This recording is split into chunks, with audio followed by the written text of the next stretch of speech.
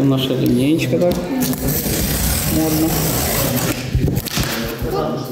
Ласка, ваша.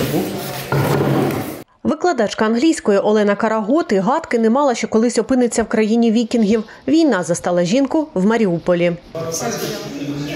Житло, бізнес, офіс під Азовсталю і квартира на лівому березі, саме там, де ну, коротше, все згоріло. Все, що не буду перераховувати, вже нічого немає. За три тисячі кілометрів від дому вона хоче бути корисною. Разом з іншими біженцями виготовляє свічки, які зігріватимуть в окопах українських бійців. Каже, матеріалу йде багато. І вже вон все порізали. Треба матеріал. Їжте люди консерви, приносите баночки. У хендмейд підряді її чоловік топить віск. Мы помогаем нашим военным, э, как можем приблизить нашу победу. Я думаю, больше ста штук. За сегодняшний день сделали больше ста окопных свечей. Слава Украине!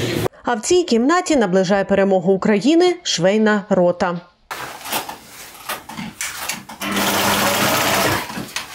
Тут майстрині шиють для солдатів ноші. Робимо свій внесок, шиємо ноші для на фронт.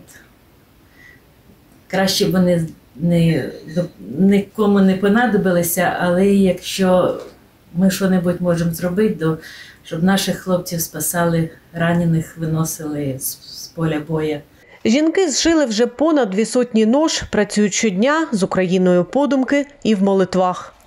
Сідаємо і молимося за те, щоб наші хлопці верталися додому живі, здорові.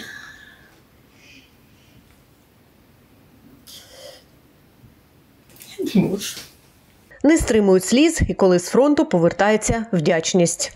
З вдячністю е, сповіщаємо вас, що ваші ноші е, дуже гарні, можете робити ще такі.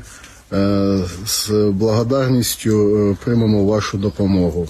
Українці, які знайшли прихисток у Норвегії, намагаються налагодити і виробництво адаптивного одягу для поранених. Такі розпашонки дозволяють бійцям одягатися без болю.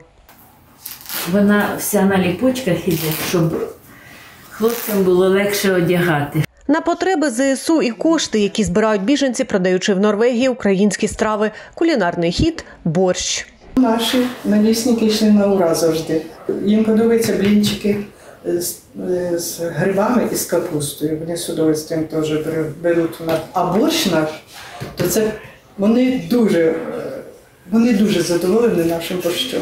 Внесок у боротьбу за перемогу України роблять і норвежці. Збирають гроші, закуповують обладнання та матеріали, доставляють гуманітарні вантажі. До волонтерства на користь ЗСУ всі ці люди прийшли різними шляхами, але в певний момент об'єднали зусилля, аби бути максимально ефективними тилу.